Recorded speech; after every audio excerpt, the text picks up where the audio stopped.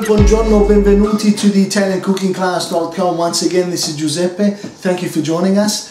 Uh, what we're going to be doing today is I'm just going to show you just quickly blanching some prawns. If you want to use them in a salad or some kind of uh, prawn cocktail or whatever the case may be, just a really quick method just so that it really keeps the texture of the actual prawn itself. We have some boiling water just come off the stove, ready to go. We're going to um, some thawed out prawns, fresh prawns, whatever you like, and some salt. Now the salt is already in the water, and I've just shown it here just so that you know that some salt to salt the water, and also we can use some salt on the prawns after they've actually been uh, cooked just to give it a little bit of flavour and we've got some more cold water here just to cool them down. So the actual uh, cooking process stops and they're actually cool because we do want them cool and we want them nice and juicy inside when we throw them in the salad. So we'll just throw them in here and you'll see them going pink.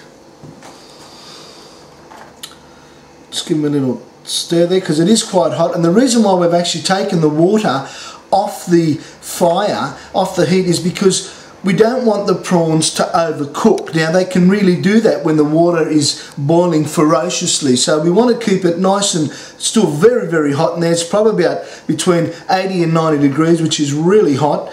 And it is enough to, to actually cook the prawns through. You can see them turning pink there.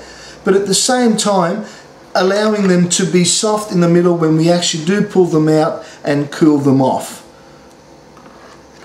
just about done now so we'll just take them out. They're just nice there just a nice pink colour. We'll just pop them in the water there in the cold water. This again stops the cooking process as well as cooling the prawns.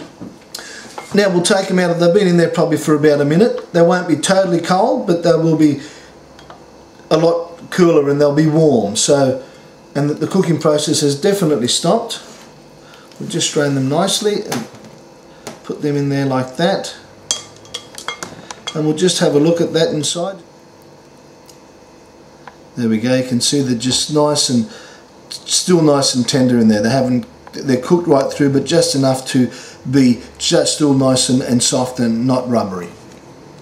So that was cooking prawns folks, just quickly for a salad. You can actually use them to make a, a nice spread out of them, put them through a blender with some mayonnaise. Really, really great. Wonderful, full of flavour and fully natural. Thank you very much. Arrivederci, buon appetito.